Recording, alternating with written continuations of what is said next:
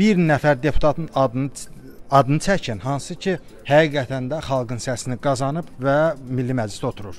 Erkin Qədirlinin açıqlaması ilə əlaqədar hansısa hüquqi addımın atılacağını düşünmürəm. Çünki seçkini keçirən Mərkəzi Seçki Komissiyası, nəticələri təsdiq edən isə Ali Məhkəmədir.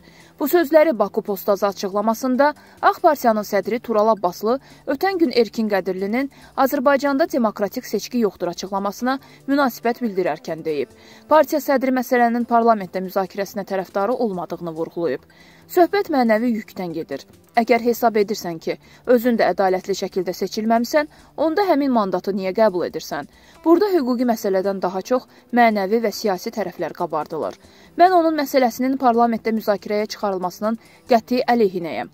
Kifayət qədər deputatlar var ki, onların açıqlamalarına görə müzakirə aparıla bilər. Erkin Qədirli sadəcə mövcud olan bir fikri deyib. Sadəcə olaraq o bunu özü orada təmsil oluna-oluna deyib. Məsələn, mən gündə 10 dəfə bu fikri deyirəm. Amma bu qədər effekt vermir. Çünki mən parlamentdə deyiləm deyə bu tənqidi qərəzli sayırlar. Deyirlər özü orada deyil, ona görə deyir. Digər tərəfdən istənilən ölkədə seçkilərlə bağlı belə fikirlər, ittihamlar olur.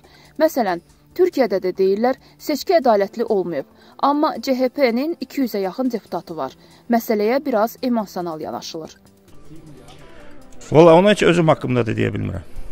Çünki demokratik seçki olsa, onda əminliklə demək olardı. Amma demokratik seçki yoxdur axı bizdə.